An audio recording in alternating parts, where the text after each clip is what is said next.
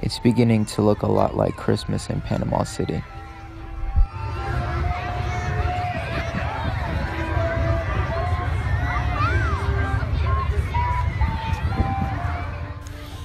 The annual Christmas parade took place, drawing out many visitors for Saturday night.